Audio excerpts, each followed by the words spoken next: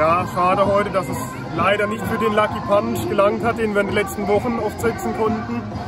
Ähm, zwischenzeitlich, zweite Halbzeit, das 1 zu 1 erzielt, war mal wieder drin im Spiel.